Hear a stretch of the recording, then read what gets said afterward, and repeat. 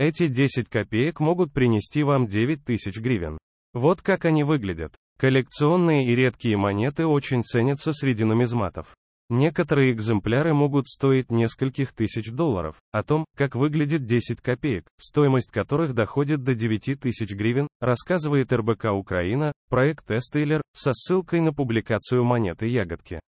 Как выглядит ценная монета? Цена монеты 10 копеек 2011 года зависит от разновидности штампа и состояния монеты.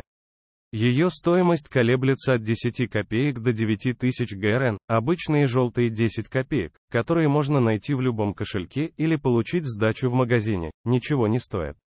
Ценными являются 10 копеек из коллекционного набора и 10 копеек из немагнитной стали, белый металл.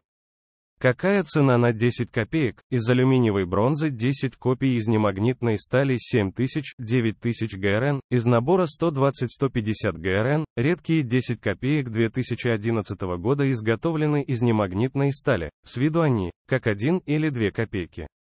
Нумизматы на форумах утверждают, что серебристые 10 копеек находили всего 4 раза.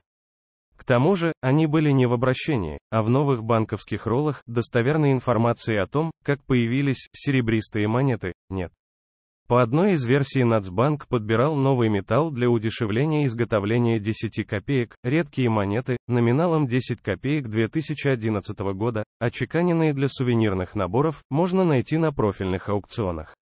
Тираж таких монет составил всего 5000 штатов, в обращении их нет, они только в коллекционном наборе монет Украины, посвященном 20-летию НБУ, раньше мы показывали, как выглядит одна гривна, которая стоит 40 тысяч. Читайте также о том, как выглядят украинские монеты, которые стоят десятки тысяч гривен.